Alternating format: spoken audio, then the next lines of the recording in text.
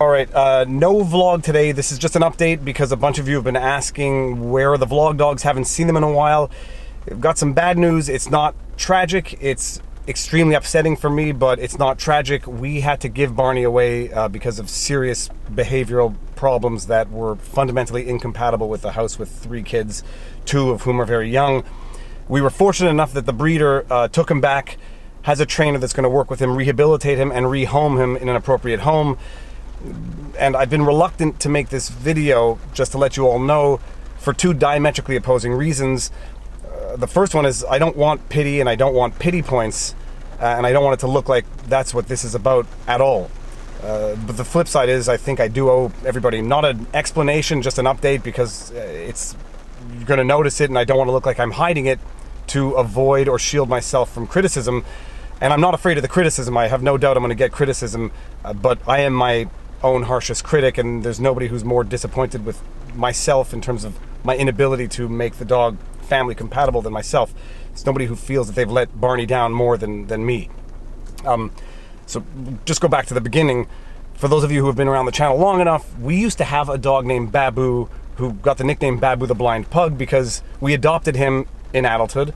He had some serious eye condition and went blind over the course of a month, and for the last two years of his life, totally blind, bumping into walls. He used to walk around the house like by finding the, the perimeter with the wall.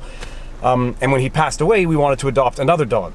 Except by that point, we had three kids, one of whom was a newborn, and there wasn't a dog adoption agency in Montreal that would let us adopt a dog for obvious liability reasons.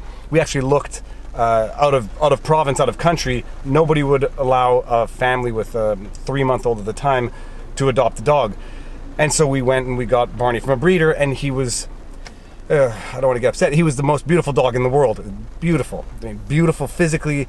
I love those dogs' face. I know people, you know, don't necessarily agree with breeding French bulldogs, but I love the dog's face. I loved everything about him, and he was the best dog in the world.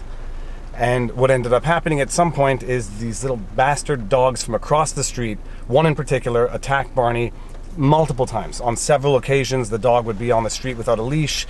A much bigger dog uh, looked like a husky, and it attacked Barnie multiple times. On over an extended period of time, I had to actually call the cops, um, and Barnie became traumatized uh, from the attacks. And you know, then he first hated all dogs that looked like that dog and would react aggressively with them. Then it was all big dogs. Then it was all dogs, and then it was reacting to certain circumstances where he felt uh, in danger or, or, or vulnerable, and he would snap, growl. He would get into a mode where we would have to avoid him and if I were the only person living in the house, I could have dealt with it and I could have dealt with the risks.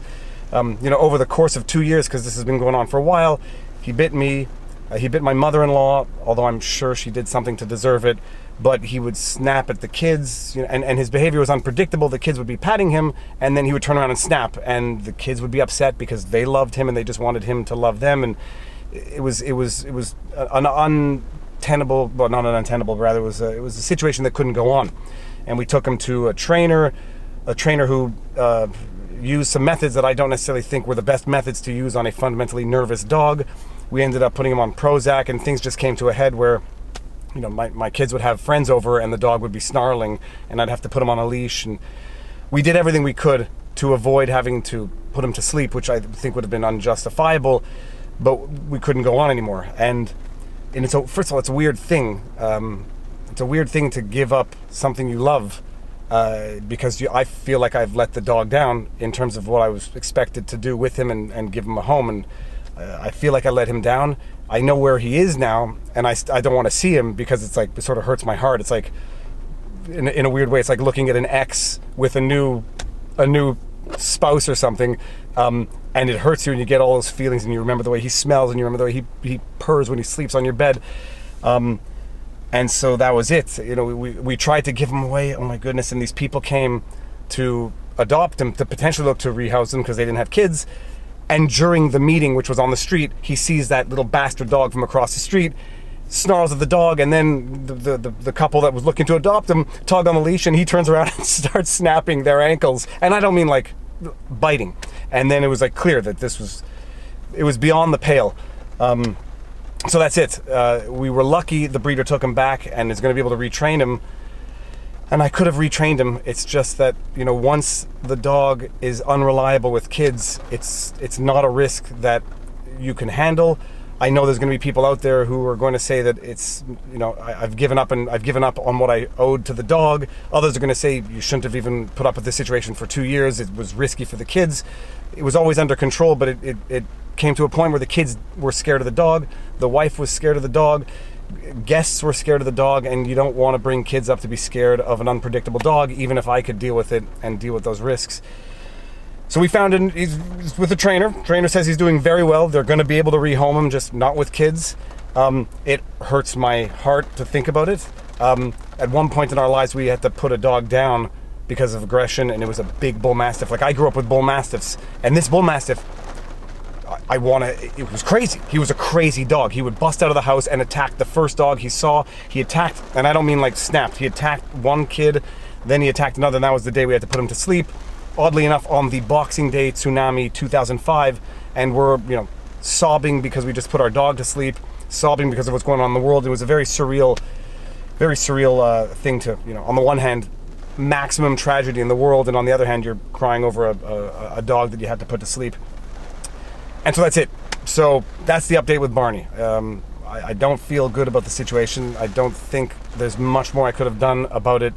Um, and we're dealing with the situation now. One of the ways is we've distracted the kids by adopting a senior guinea pig uh, and giving him a home. So at the very least, we can feel that we're sort of not just contributing to a, a problem, but rather resolving it by giving a guinea pig that uh, needed a home a home we're looking to adopt another dog. Uh, the older dogs tend to be better. you know, they tend to be grateful when they get adopted, and we're looking to adopt another dog. But um, that's the situation. So you won't see Barnie the vlog dog in my house. As much as it is upsetting for me, you won't see him in our house, but he uh, he'll find a new home and he'll find a happy home, and we will uh, continue doing the best we can. So that's the update. Um, peace out.